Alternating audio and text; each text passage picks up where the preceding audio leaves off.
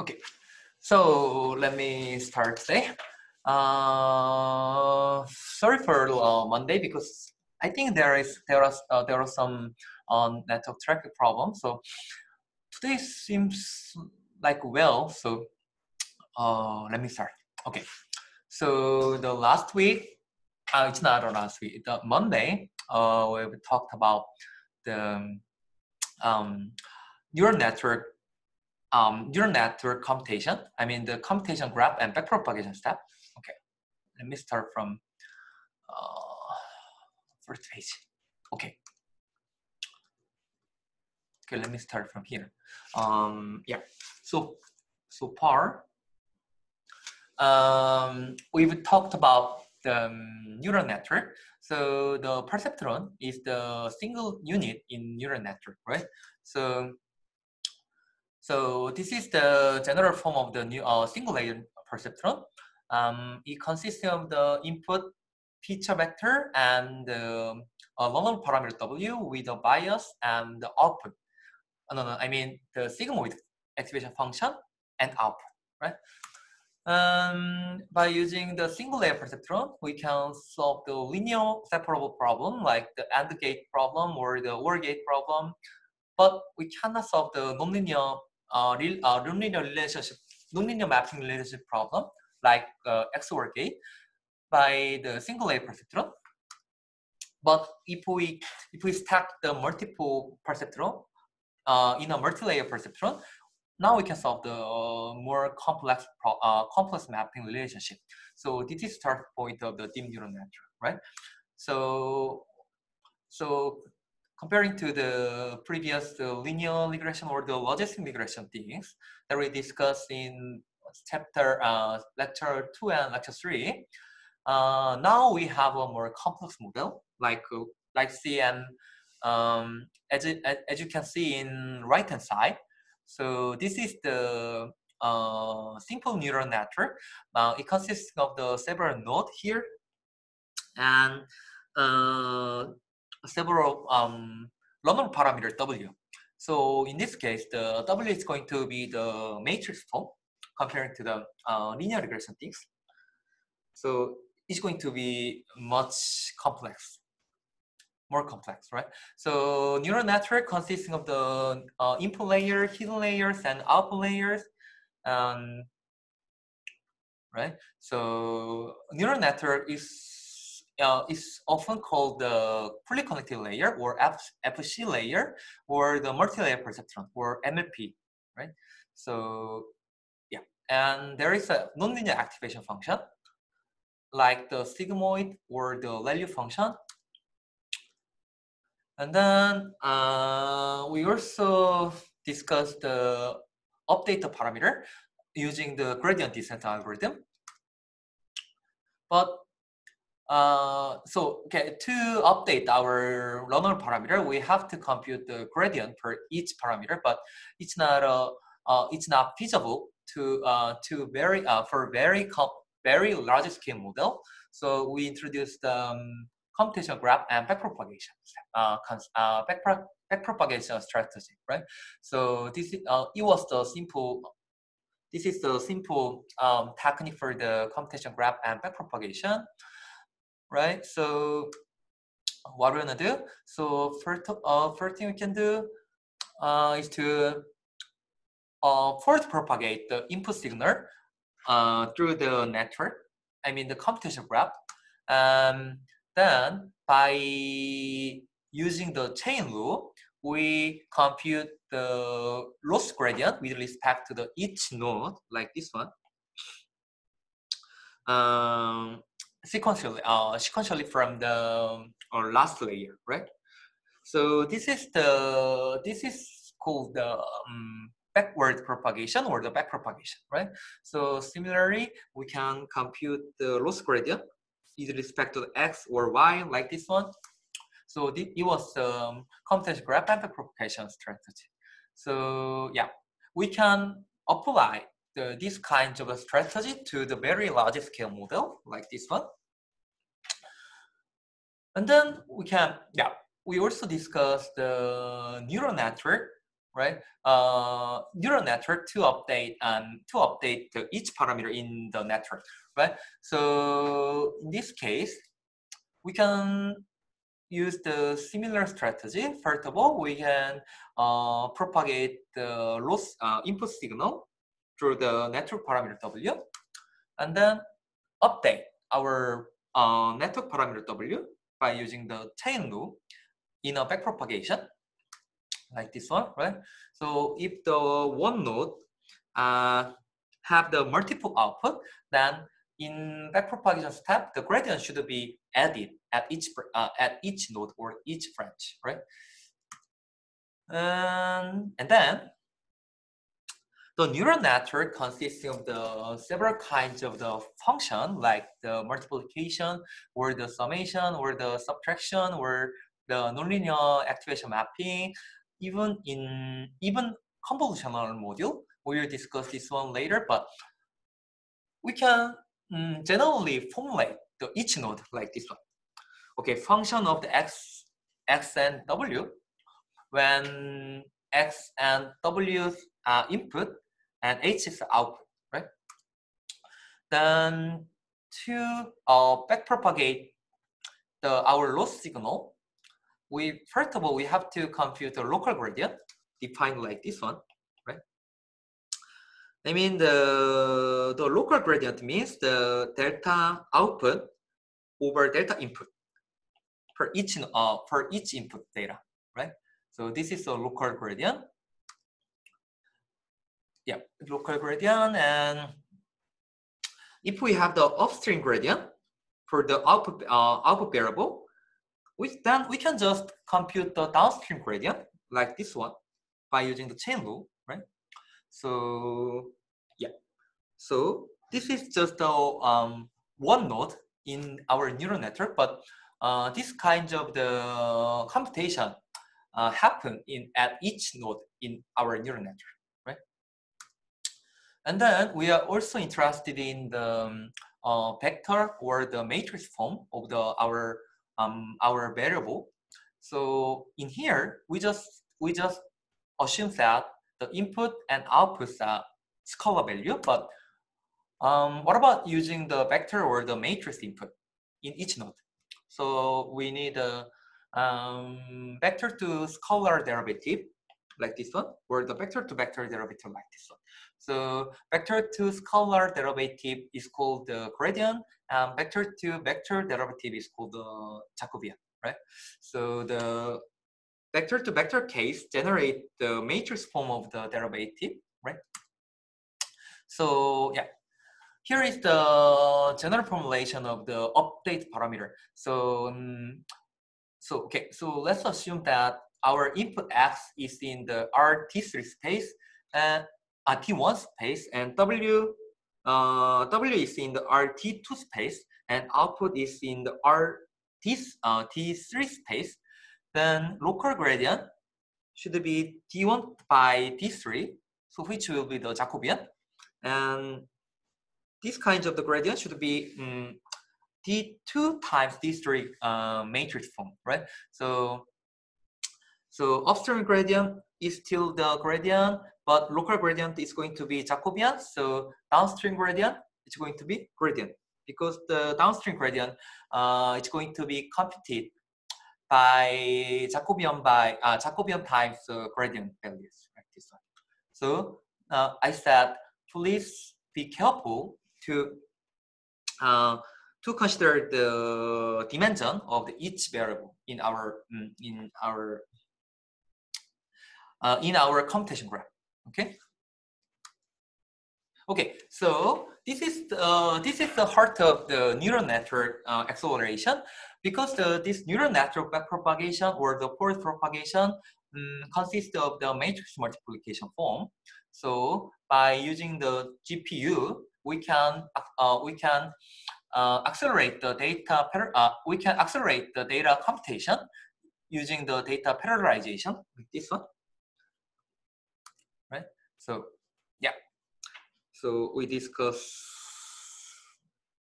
so far. Okay.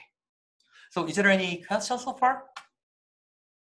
Because we don't we didn't have the Q&A session Monday, so if you have a question, please let me know now.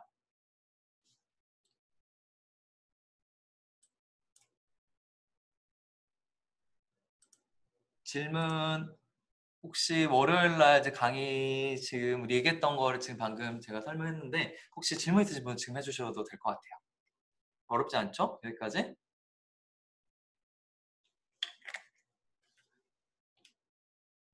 이제 오늘이랑 다음 주에 좀 수학이 이제 많이 나올 거예요. 아마 그레디언트 계산하는 것들이나 이제 오늘 지금 프랙티스부터 시작하는 것들이 이제 좀 저희가 계산을 해야 되는 것들이 많이 나올 텐데 어 조금 어려울 수도 있어요. 그리고 강의를 듣다 보면은 뭐, 뭐 그럴 것 같다라고 예, 뭐 이해는 되지만 실제 자기가 손으로 해보지 않으면은 풀지 못하는 이제 문제들일 거예요 아마. 그래서 아마 이번 주 다음 주 강의를 들으시면서 조금 포기하는 사람도 한두 명 생길 수도 있을 것 같아요. 근데 제가 말씀드리고 싶은 거는 사실 다음 주가 끝이에요. 우리가 다음 주까지만 이거를 다 완벽하게 계산을 할 줄 알면 이제 그 다음부터는 그냥 그 계산을 할 줄 안다고 가정을 하고 사실 할 거고 더 나아가서 사실 그 계산을 몰라도 이 다음 얘기들을 할 수가 있어요. 우리가 뭐 컨볼루션 뉴럴 네트워크나 아니면 뭐 더 나아간 얘기들을 할 수가 있는데 이번 주랑 다음 주에 이 강의가 매우 중요한 게 이걸 근데 우리가 손으로 해보지 않고 넘어가면은 다음 강의들에서도 그럴 것 같다라고 그냥 우리가 예측은 하고 넘어가지만 아마 깊게 이해가 안 될 거예요. 아마 우리가 이제 파이썬으로 구현도 할 거고 프로젝트도 풀겠지만 물론 이걸 손으로 안 해봐도 프로젝트 뭐 두 번째, 세 번째, 네 번째를 푸는 데 지장은 없을 거예요. 그 이유를 이제 제가 다음 시간에 말씀해 줄 건데 그럼에도 이걸 해보지 않고 넘어가면 아마 이번 학기 끝날 때까지 그리고 여러분이 이제 인공지능 또는 딥러닝 또는 컴퓨터 비전 쪽에 이제 앞으로 뭐 연구를 계속하든 뭐 회사를 가든 해도 아마 계속 모를 거예요. 그렇기 때문에 이번 주 다음 주가 정말로 중요한 거고 좀 어렵겠지만 잘 따라와 주기를 바랍니다. Okay? Okay, so is there any questions so far? Okay, let's continue. So let's let's have a practice. Okay, so let's assume that we have a one layer neural network with a MSE regression loss like this then let's let's find let's find the loss gradient to update this parameter W. W. Okay. So let's think about how to do that. Um, okay, so if you consider the one layer neural network, they're consisting of the several functions. The first function is the linear projection, right? Something like this. Uh, okay. So in this case, xn is in R3 space, right? And y is in R4 space. Then the matrix should be in R 4 by 3 space, right? And bias should be um, R 4 space, right? Then first thing we can do, we have to compute the linear uh, linear projection like this one. And then, of course, we have a nonlinear mapping function. Let's assume that we have a sigmoid function defined like this one. Uh, okay, this is a sigmoid. Sigmoid function, right? We already know this one. And finally, let's assume that we have a L2 uh, L2 regression loss or the MS regression loss like this one, right? And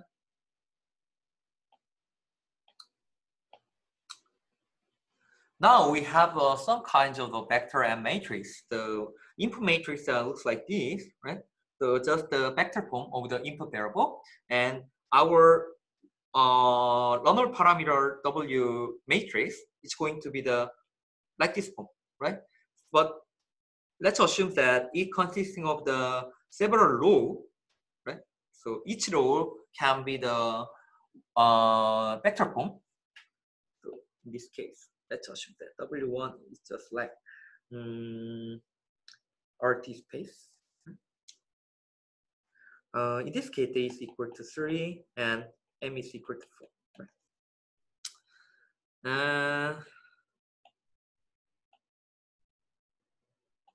and the bias should be the um, RM uh, should be in RM space as well, and output Y is going to be the R RM space, right?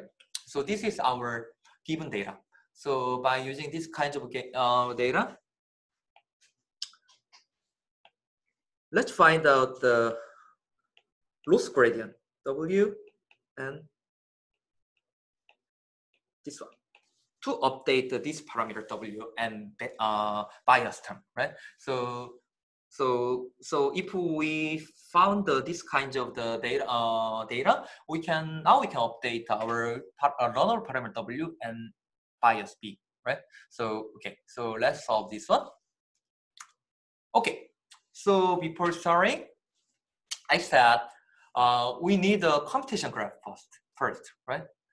Uh, like this one.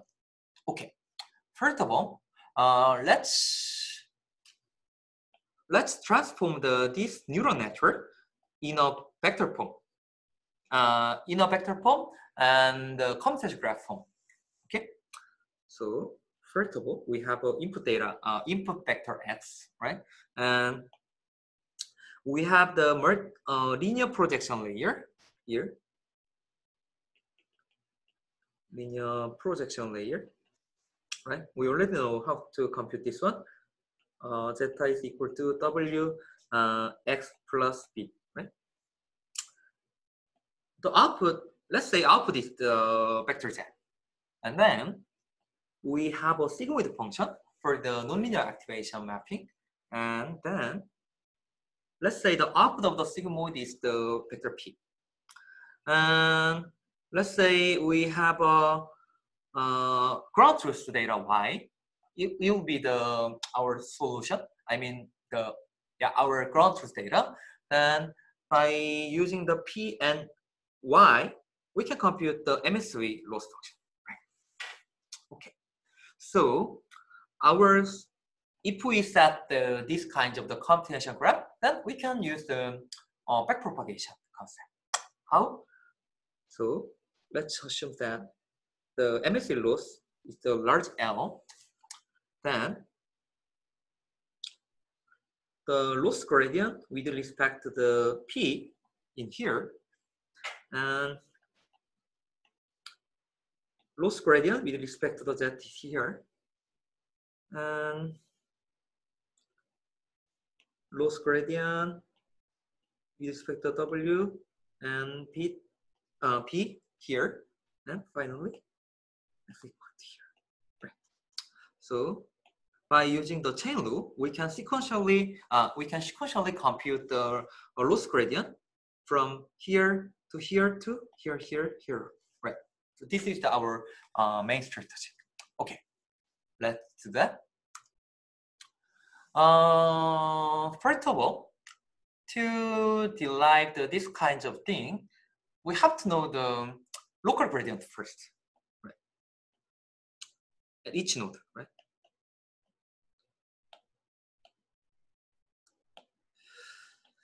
Local gradient. Right. We, first of all, we have to compute the local gradient for each node. Okay, let's do that. Uh, first of all, in case of a linear projection, let's think about local gradient, these kinds of things. So in our case, the local gradient is going to be W uh, delta Z over delta W and delta Z over delta P and delta Z over delta X, right? But in this case, the X is the input data, so we need to compute, we don't need to compute the loss gradient with respect to the input data. So let's ignore this part uh, in, in this case. Okay, let's compute this one. let's uh, let's start with this one. Okay. Okay. So what is the size of the vector z? What's that? What's the size of the z? n by 1, right? n by 1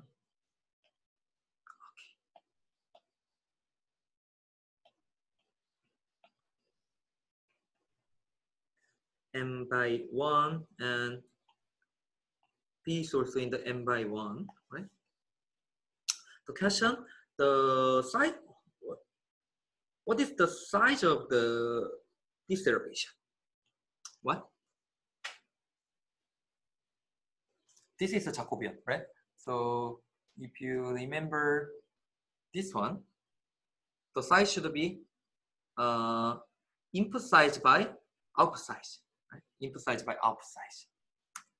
So, so in this case, it's going to be the m by n. Right? Then we can easily compute the, this one. Right? How? It's going to be P1, Z1, P 2 z1 blah blah blah uh, p p m z1 like this one.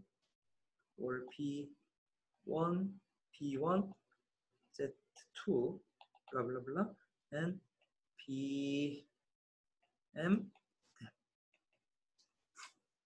so it's going to be this one is one and this one should be 0 in this case. So this one also should be 0, right? So this so this one is going to be identity matrix. Identity, identity, identity.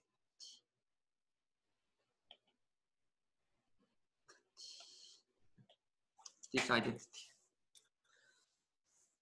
Okay, so this is very easy. Um, what about this case? What about this case? The matrix W is in our m by t case, right? Because the x in RT space, uh, RT space. Right? So it's going to be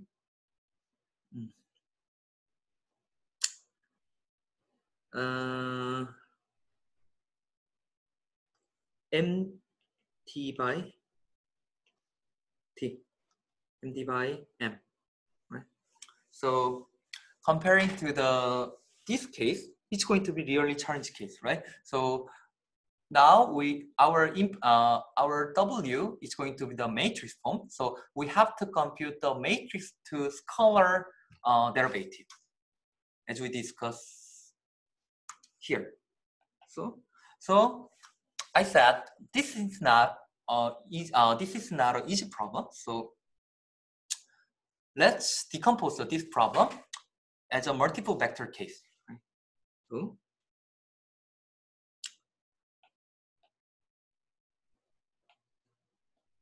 uh, we already know this uh, matrix vector consisting of the several uh, matrix uh, matrix W consisting of the several vector case like this one W um, M like this one. So let's compute the local gradient for each vector like this one and then aggregate this kinds of thing into the into the matrix form. Okay. So first of all, this case, Z1 is scalar value, scalar value, and W1 is the matrix form, matrix, right? So uh, RT space. So we can compute the this color by uh, the delta Z1 by uh, delta Z1 over delta W1 is going to be X, right? From here. But uh, delta Z2 over delta W1 is going to be zero. And delta Z2M over delta, uh, delta W1 is going to be zero, right? Because the um, zeta is the vector point, like W1, W2, Wn. So the matrix, uh, the vector W1 is only related to the, this one, not a, another one, this one. So it's going to be like this. Thus, therefore, the vector uh, delta vector z over delta w1 vector is going to be the matrix form, right? Because now this is a vector and this is a vector. So this one here, this one here, and this one here. So it's going to be the like this matrix. Right? In this case, uh, this delta z over delta w1 is in the rt times m space, right?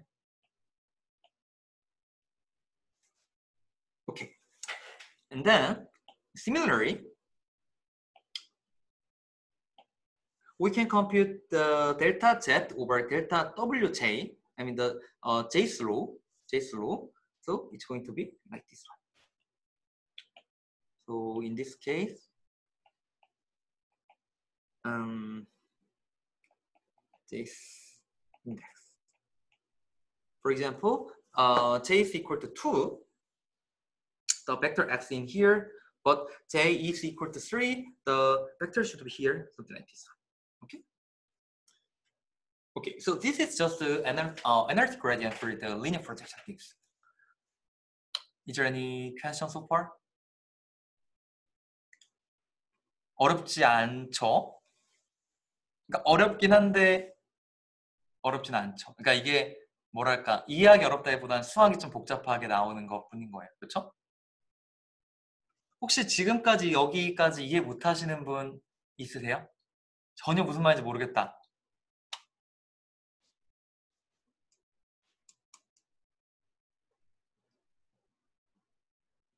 다 이해하셨죠?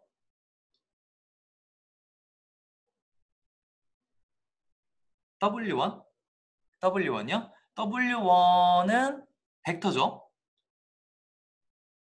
여기요. 벡터, 벡터죠. 아, 죄송해요. 아, 그렇구나. 여기 벡터죠? 저기 벡터. 죄송합니다.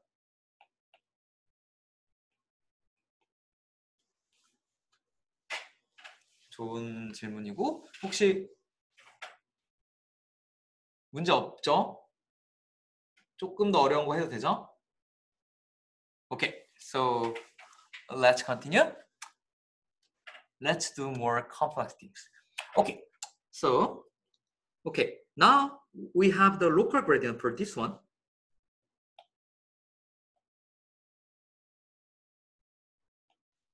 Okay, local gradient for this one, and let's do this one.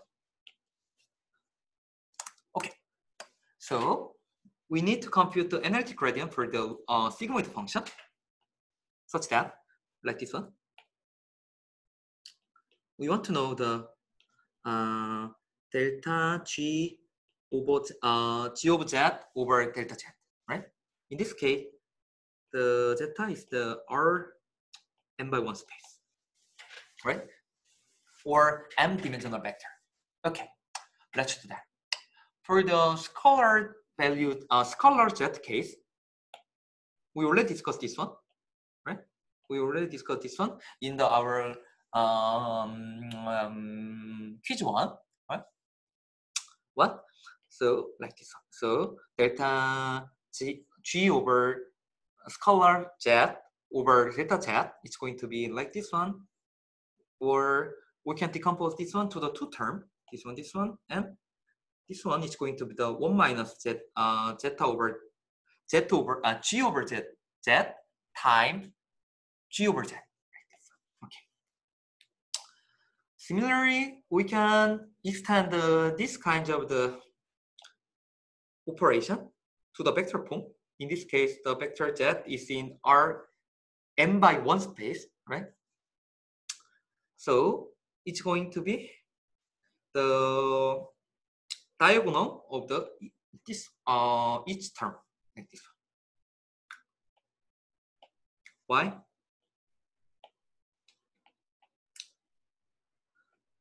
If you remember the Jacobian, it's going to be z1 over gz1 uh, z2 gz1 something like this and z1 gz2 uh, blah blah blah blah uh, delta z uh, m and delta g zm right?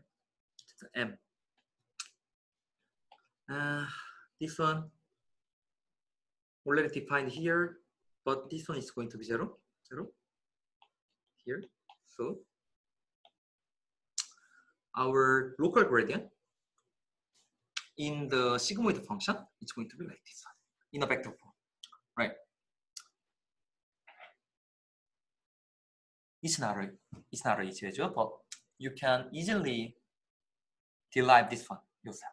Okay, so please try to follow the, these two kinds of the uh, equation. Then let's let, uh, let's do that. Okay, so now we have a local gradient for this one and this one. And then if we can compute the this one first, then we can just compute the remaining things, right? By just by just using a chain rule. Okay, let's do that. First of all, first of all, uh, loss gradient with respect to the output p vector, it's just going to be the uh, 2 minus, uh, 2 times p minus y. Okay? There's that. Here, right? It's just very easy because this just this is just kind of the square of the y minus p. It's going to be the 2 minus y, p minus y, right? And then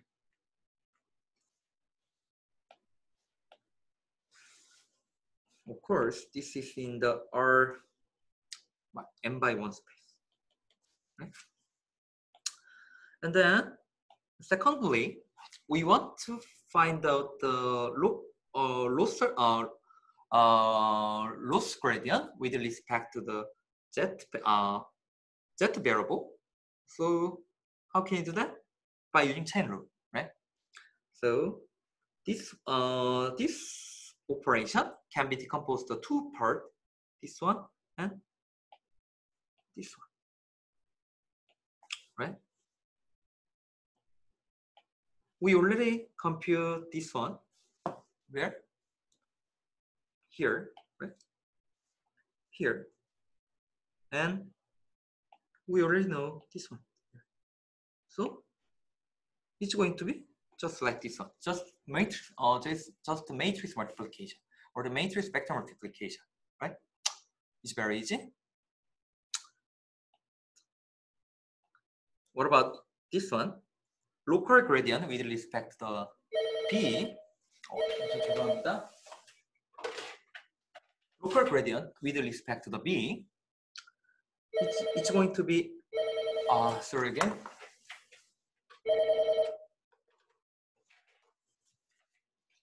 It's going to be, we can decompose the, this computation into the two part. Um, uh, this one and this one, right? So we already know this one. What? Right? What? What's that? It was just the identity matrix. It was just identity matrix here. So it's going to be just this one itself, right? So local gradient with respect to the uh, vector p is going to be the local uh, lo uh, loss gradient with respect to the vector z. What about this? What about this? This is very difficult problem because the matrix of the W is the matrix form. So I, as I mentioned before, it's not a, it's not, it is very difficult to directly compute the, this loss gradient with respect to the matrix form. Uh, so we will, um, we will decompose the, this problem as a vector to scalar problem, several vector to scalar problem. How? Uh, we already know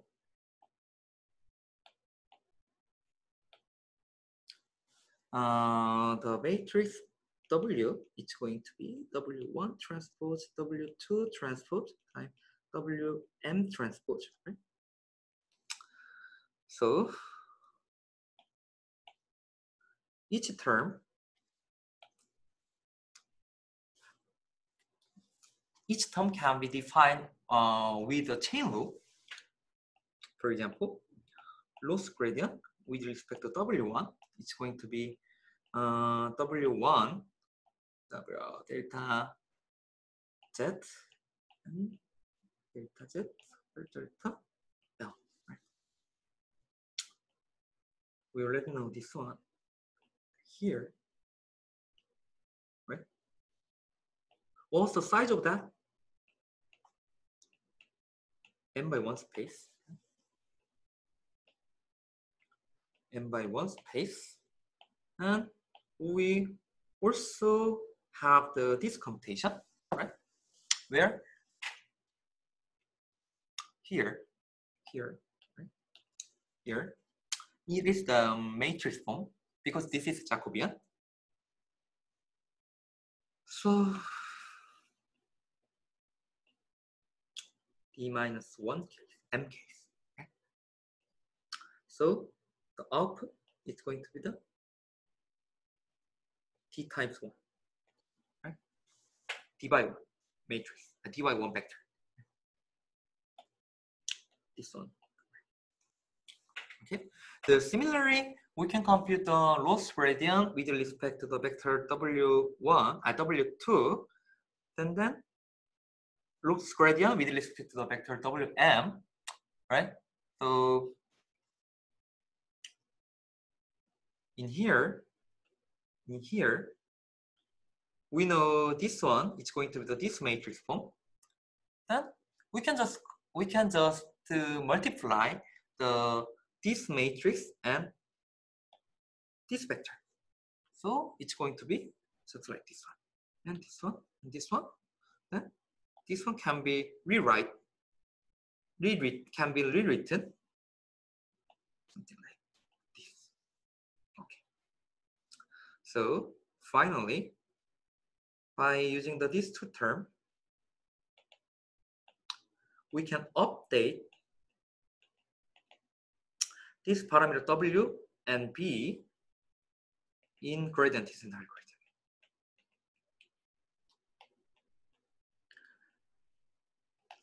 Okay. Okay. So, is there any questions so far?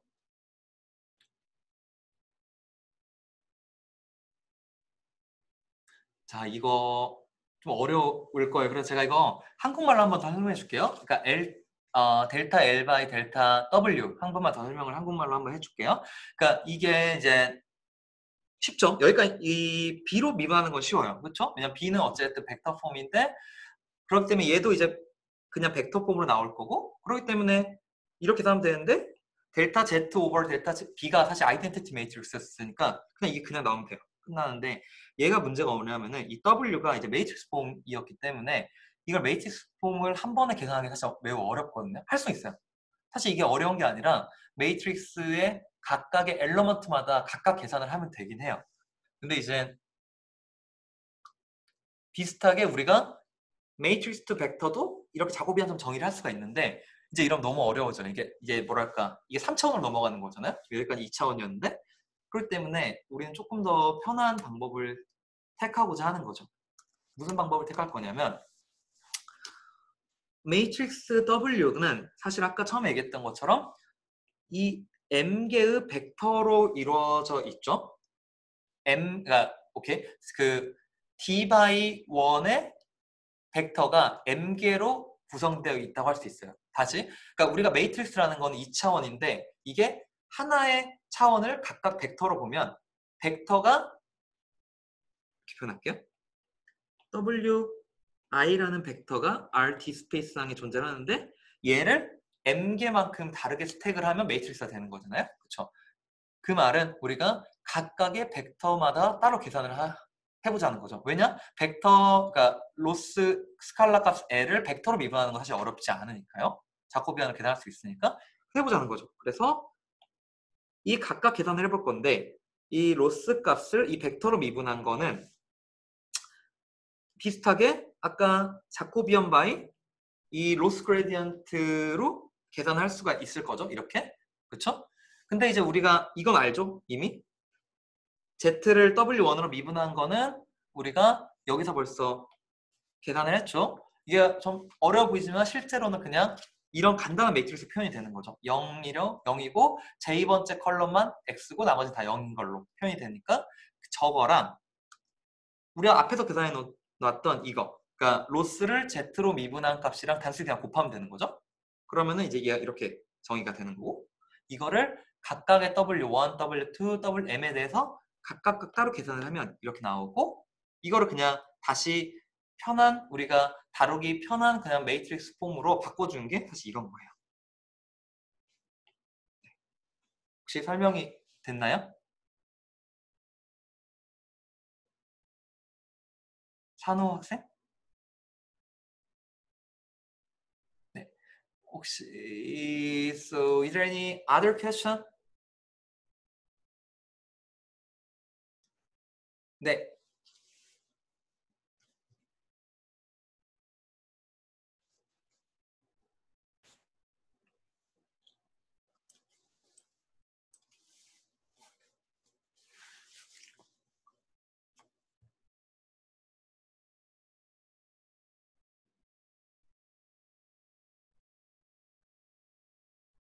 어, 에서 subscript가 왜 달라져야 되는지 모르겠습니다. 라고 표현해 줬는데 어,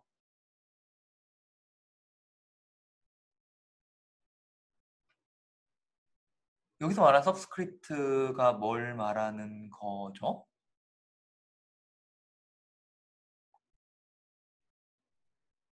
아, 이거, 이거 말하는 거예요? 이거? 이거? 혹시 이거 말씀하시는 건가요? 아, 네네네. 이게 뭐냐면은, 아, 다시 써줄게요. 또 써줄게. 이거를, 자, 우리가, 요거 벡, 요게 벡, 요건 벡터인 거 알죠? 우리가 지금? 이게 다시 벡터잖아요. 이게 m by 1 벡터잖아요. 그쵸? 그럼 이 m by 1 벡터는 사실 스칼라 엘러먼트들로 구성이 된 거죠. 사실 이게 스칼라 1, 첫 번째 스칼라 값이고 이게 두 번째 스칼라 값이고 뭐 이런 식으로.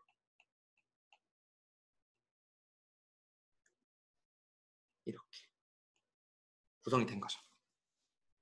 이해했나요? 그래서 저게 이거는 지금 스칼라예요. 그냥 답변이 됐나요?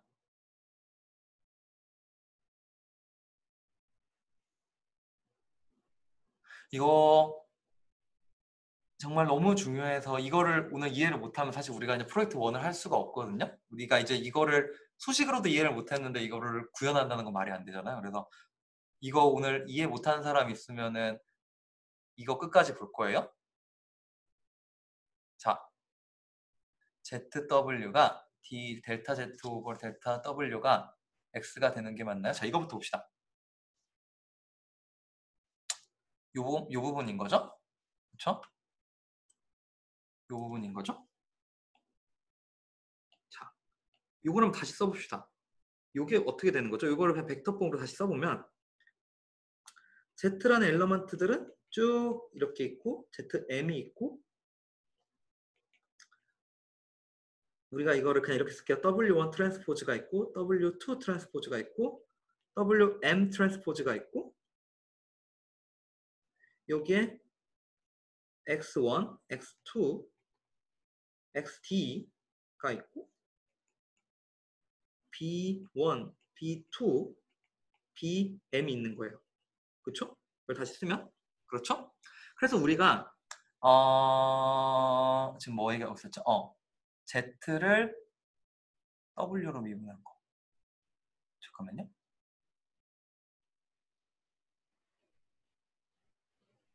z를 w로 미분한 거는 x가 아니죠? 그러니까 요게 x인 거죠, 요게. 그러니까 z1을 w1으로 미분한 거가 x인 거죠? 무슨 얘기냐? 이거 이 하나 z1은 여기만 연결되잖아, 지금.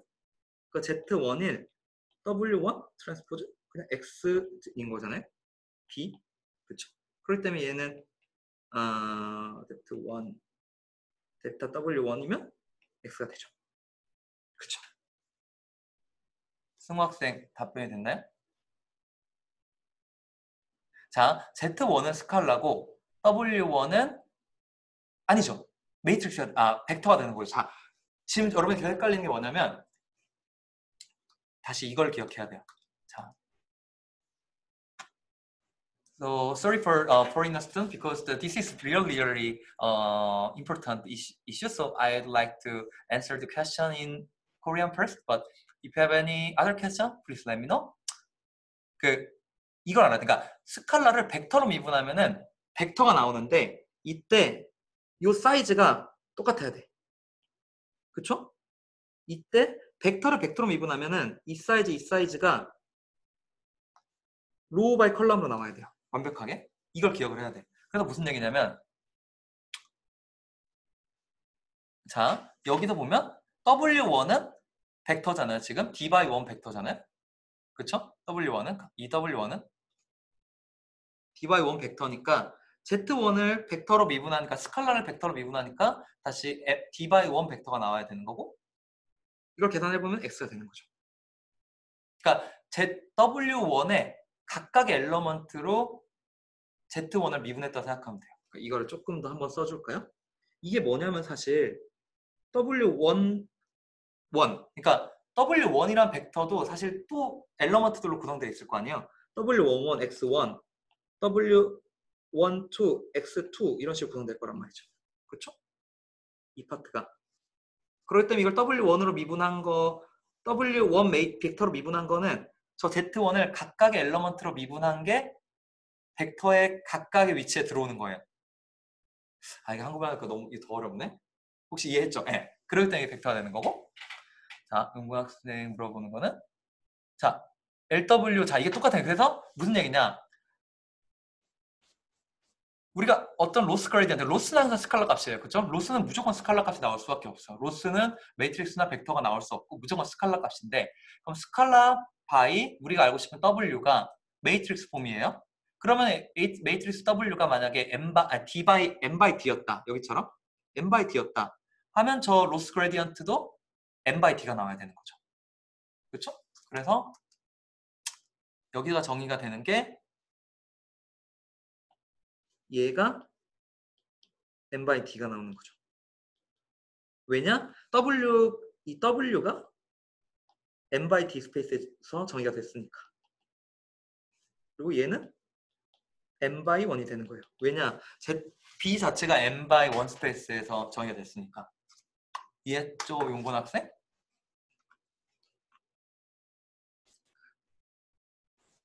If you didn't fully understand this kind of concept, please let me know now because this is really really important things to keep to keep going. So please let me know now.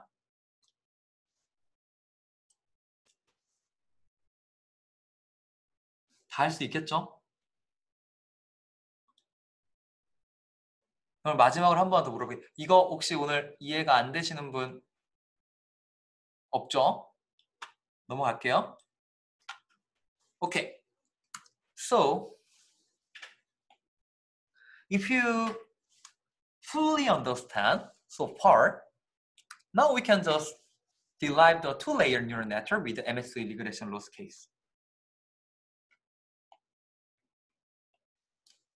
자, 45페이지, 아, 괜찮아요. 45페이지에서, 어, 왜 다이아고말 남고 다 사라진지 궁금합니다. 요거 말하는 거죠, 요거? 그쵸? 자, 시그모이드를 생각해 봅시다. 시그모이드라는 게 뭐였냐면 우리가 어떤 어, Z1, Z2 쭉쭉쭉쭉 ZM으로 구성된 벡터가 들어왔을 때 그냥 이걸 이걸 시그모이드를 통과했다는 것 자체는 시그모이드를 통과하면은 그냥 각각에다가 G를 붙인 거예요, 그냥. 그렇죠? 이렇게 되는 거잖아. 뭐, 무슨 얘기냐? 어쨌든 이게 얘도 n by 1 벡터고 얘도 n by 1 벡터니까 이 로컬 그레디언트는 n by m 매트릭스 폼이 되는데 그럼 각각의 엘러먼트마다 사실 다 미분을 계산해야 되잖아요. 그러니까 얘를 얘로 미분한 거, 얘를 얘로 미분한 거, 얘를 얘로 미분한 거를 각각 해서 n by m개가 나오는 거잖아. 근데 지금 이 Z1은 사실 여기에만 연결되고 다른 거랑 완전 인디펜던트하게 연결되는 거잖아요. 그렇기 때문에 저 다이어고널 텀에서만 얘가 정의가 되는 거죠. 그렇죠? 나머지들은 다 연관이 없으니까 다 빵이 되는 거죠. 뭐냐? 그러니까 우리가 Z1에 대해서 미분할 때는 Z1이 아닌 텀들은 다 컨스탄트로 계산, 컨스탄트라고 아 컨스탄트? 컨스탄트 맞죠?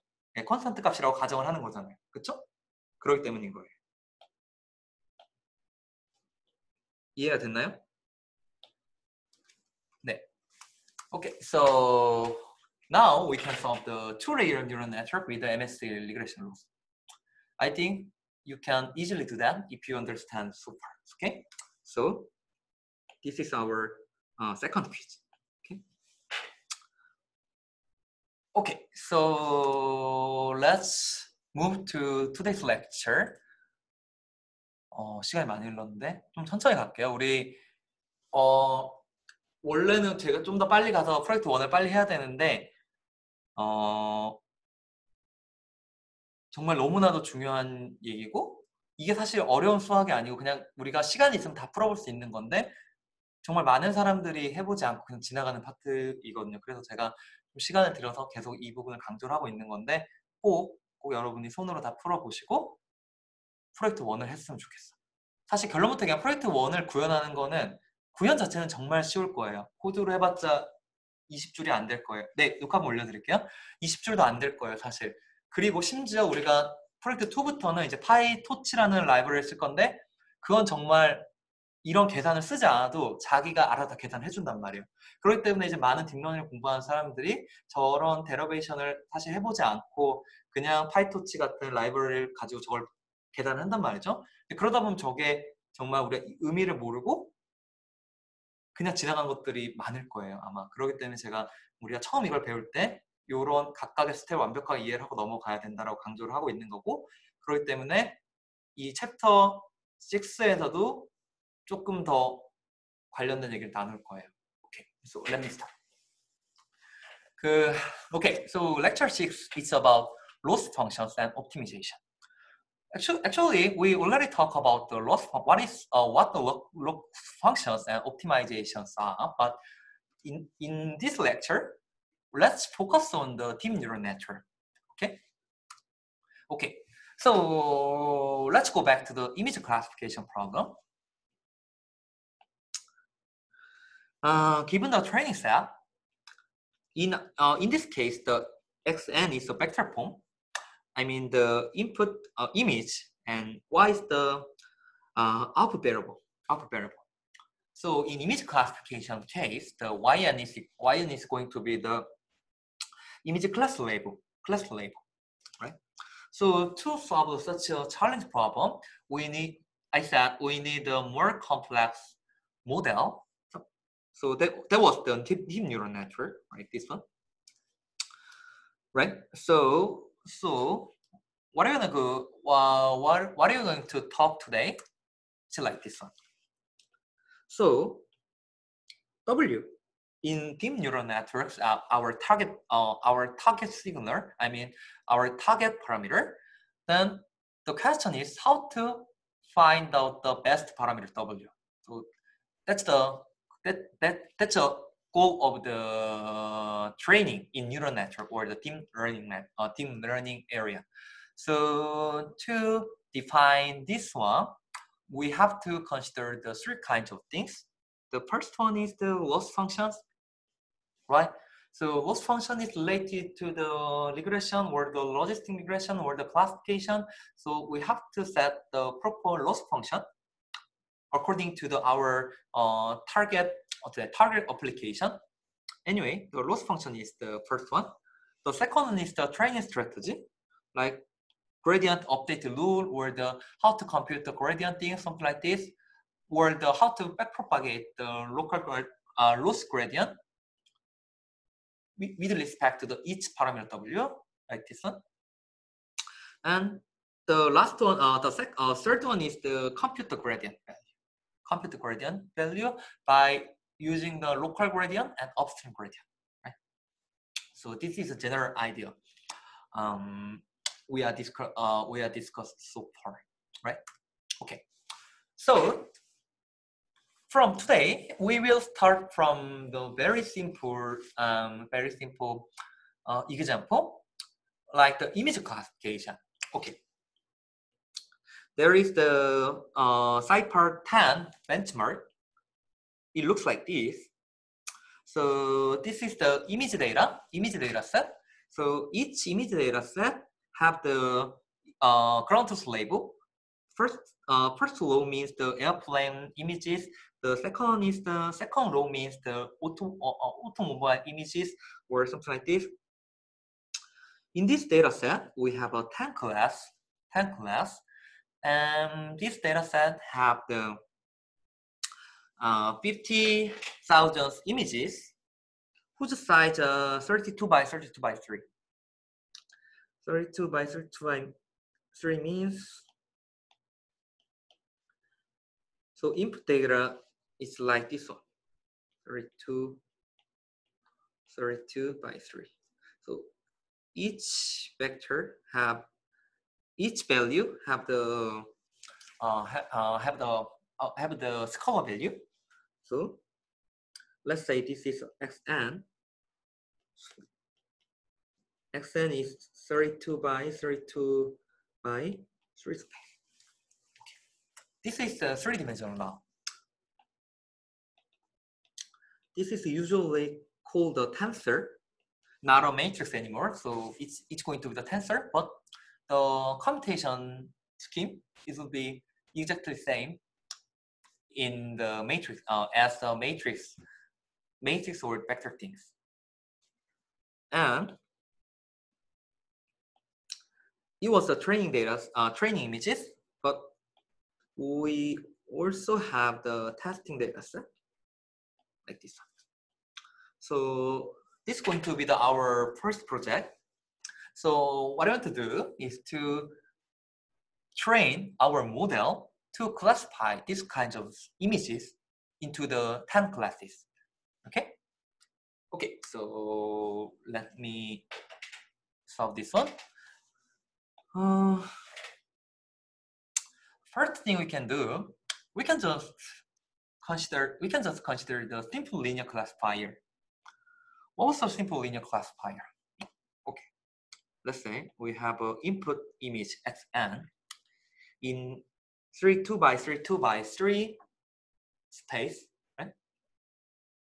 And we can just reshape this kind of the tensor to the 1D vector like the uh, 3071 vector. So now we can say we can say that xn is in this one, right? Then first of all, we can just to consider the very simple linear classifier defined like this one, right? In this case, matrix W is, going to be the 10 by uh, 3072 and xn in the 3072 and bias B is in the 10 by 1 space. And then output should be 10 by 1 space like this one, right? This is a simple uh, our mapping function defined like this. So in this case, we have to found uh, we have to find learner parameter W, in this case matrix W, parameter or weight. This is in 10 by display. Right. And this kind of mapping function give me um, uh, 10 by 1 output. I mean, uh, 10 numbers giving the class scores. Okay. So this is a general, uh, uh, this is a very simple examples to solve this image classification problem. Okay. Let's consider the more simpler version of the, this problem. Okay. Let's assume that this image only consists consi uh, consisting of the four pixel, I mean four values like this one. So in this case, xn is the 4 by 1 vector. Then the w is going to be uh, 3 by 4 space like this one, right? Uh, this is xn, and this is bias in our street space. And this is the output. Right? Uh, generally, why uh, why have the uh, weight parameter W and bias? Right? Okay. So our goal is to find the, the optimal parameter, this one and this one, right? So uh, people keep going. Let's think about what is the meaning of the W? What is the meaning of the W.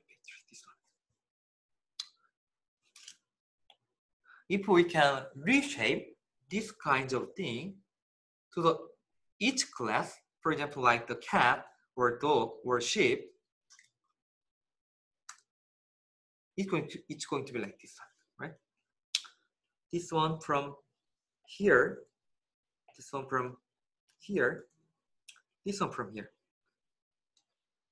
here, right? And then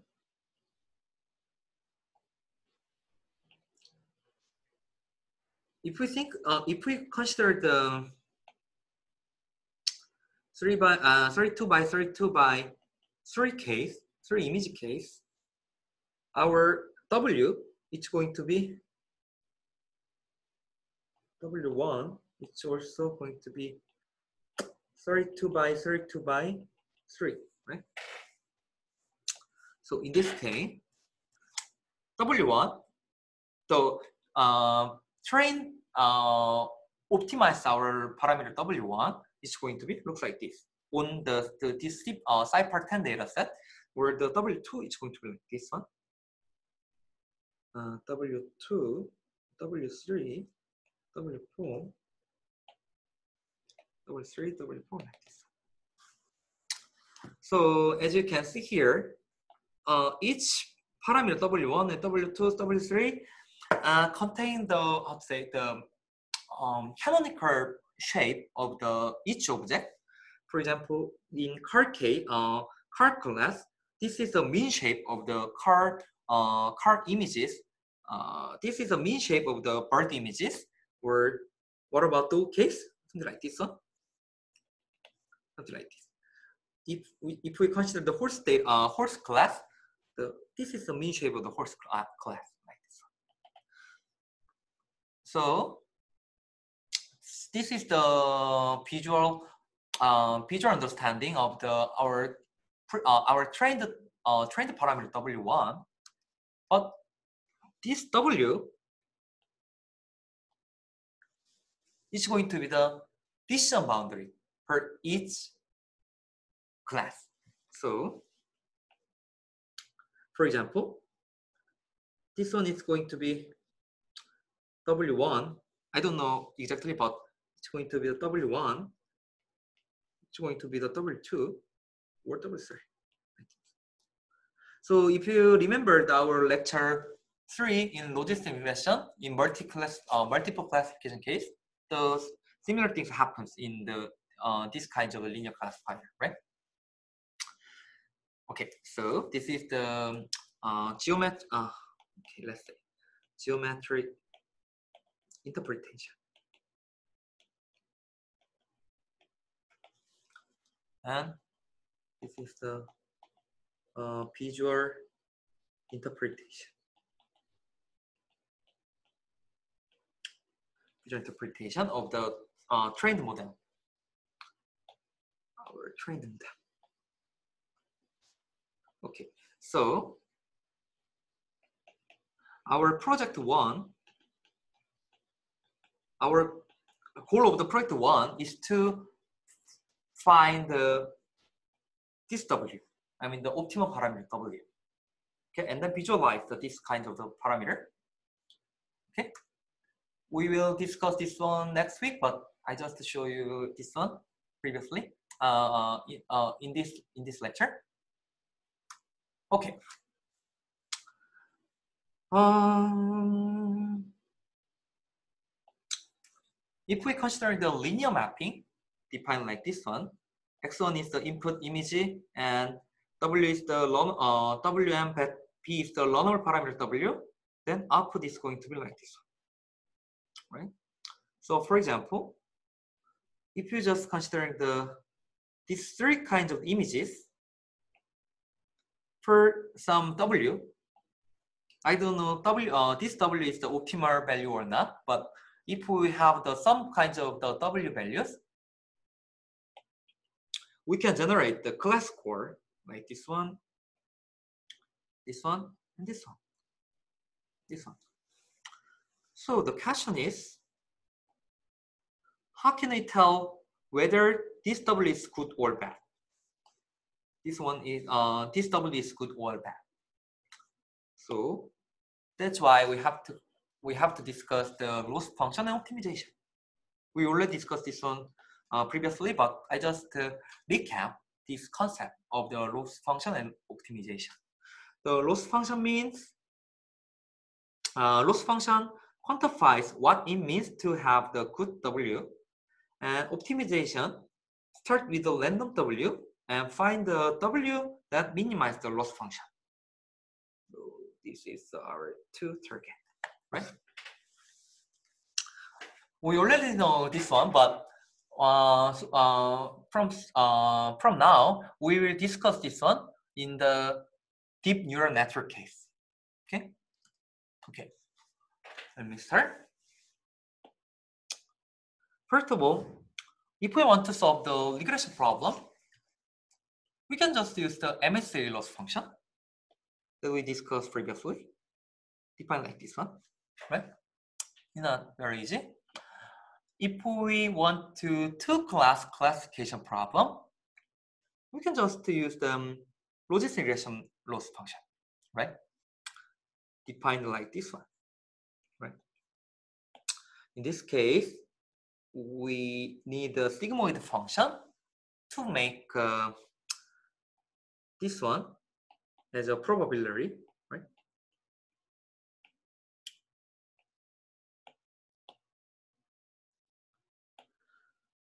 Uh,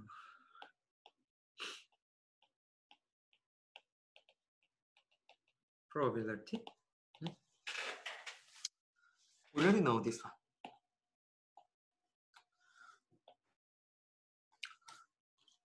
What about we want to consider the multi-class classification, like image classification problem. I mean, instead of a two-class classification, but now we we want to solve the multi-class classification problem, then we can consider the log likelihood loss. Log likelihood loss. What is that? Let's say per uh, per nth nth image or the per, per uh, nth input image, let's assume that we have a probability, probability,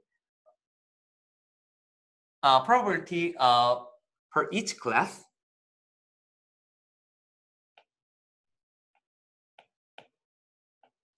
Let's say C is, uh, C number of class, number of class Now let's assume that we already have the probability of the uh, with respect to each class. Then the log likelihood is defined by this one.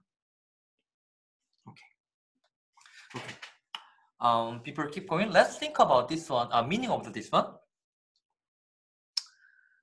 Okay, let's assume that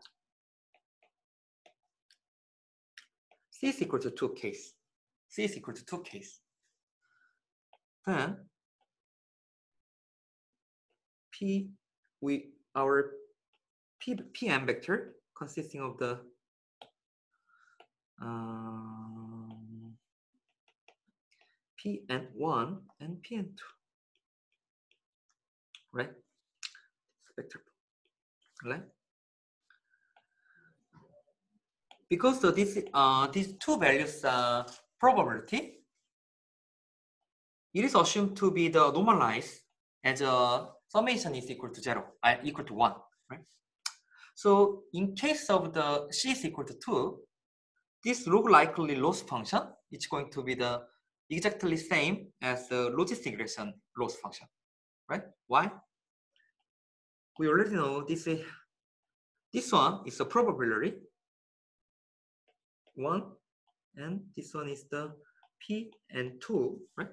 So in case of the uh, two class case the this log likelihood loss is going to be the uh, logistic regression loss function.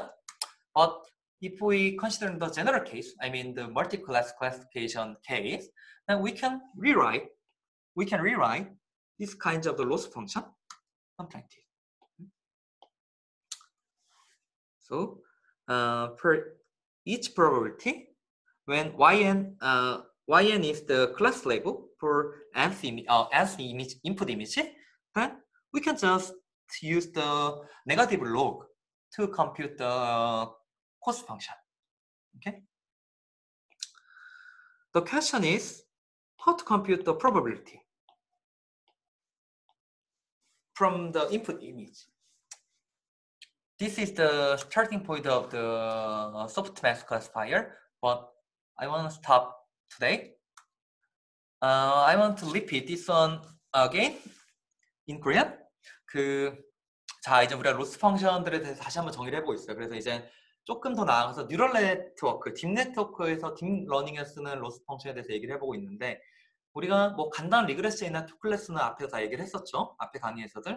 근데 이걸 멀티 클래스로 어떻게 확장을 하느냐는 이걸 사실 그냥 이 프로버리티를 알고 있으면 이거를 뭐 C계 클래스로 그냥 이걸 확장하면 돼요. 그럼 이거를 다시 쓰면 이렇게 되는 거죠, 그냥. 시계 클래스에 대해서 확장을 하면 이렇게 되는 거죠. 무슨 얘기냐? 이게 이거를 클래스가 두 개로 쳤을 때는 이랑 수식이 똑같아질 거예요. 이건 한번 본인 해보면 좋을 거고. 근데 이거를 그냥 M계 클래스, 그러니까 C계 클래스로 나누면 저걸 저렇게 각 클래스에 해당하는 프로버빌티만 에다만 마이너스 로그를 붙인 거를 포스트로 정의를 내릴 수가 있고 저게 이제 로그 라이클리 후드 로스라고 이제 불리는 거죠. 이게 우리 멀티클래스 클래스피케이션 문제를 풀 때 가장 많이 쓰는 대표적인 로스 펑션이에요. 이왜왜 마이너스 로그를 붙여야 되는지 우리가 앞에서 3강에서 봤던 로지스 미그레이션 로스를 다시 한번 보면 될 것 같고 그럼 이제 문제가 어떤 이미지에서 우리가 매핑 펑션을 통해서 저 프로버리티를 찾아내야 되는 건데 그럼 어떻게 프로버리티를 만들어내느냐 에 대한 질문이 나올 거고 이제 그게 뒤에서 다루게 된 소프트맥스 클래스파이어가 될 거고 요걸 정의를 내리면 사실 현존은 대부분의 클래스피케이션 문제, 그러니까 딥러닝을 쓴 대부분의 클래스피케이션 문제는 요 로스 펑션을 앞으로 쓸 거예요. 왜냐? 우린 더 이상 우리가 다루는 대부분의 문제는 투 클래스가 아니라 대부분이 멀티플 클래스 클래스피케이션 문제이기 때문인 거죠.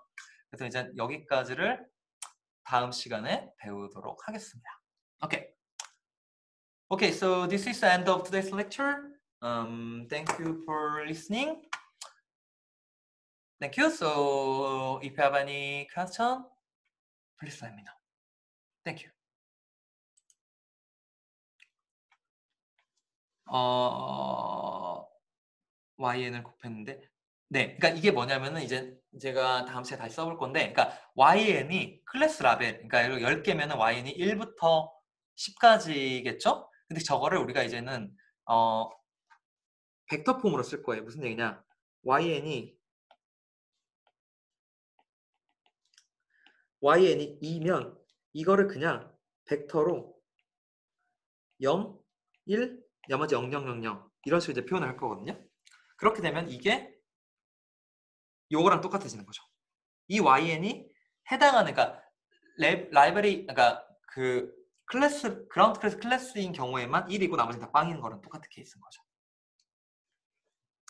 자, 퀴즈라고 하셨는데 네, 이거 제가 지금 투레이어 케이스를 퀴즈로 네, 저 제가 블랙보드에 올려 드릴게요. 근데 이걸 해야 되는 이유가 사실 뭐 우리가 원래 우리가 이 수업을 들을 때 퀴즈가 딱히 없었잖아요. 근데 이제 이거를 못 풀면 프로젝트 1을 못 할 거예요 아마. 프로젝트 1을 구현을 해야 되면 무조건 해야 되는 저 데러베이션이거든요. 그래서 제가 이거를 꼭 해보라고 퀴즈 형태로 올려 드릴게요. 그래서 한번 꼭 해보시길 바랄게요. 그 다음에 학생은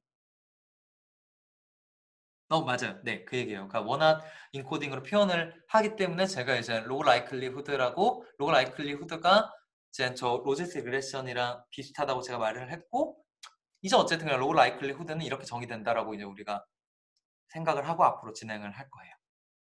네. 오케이, so 어렵죠. 그렇죠. 갑자기 어려워진 것 같아요. 저도 근데 다음 주까지만 열심히 따라오면은 그 다음부터 어렵지 않을 거예요. 근데 이 다음 이 문턱을 못 넣으면은 계속 어려울 거예요.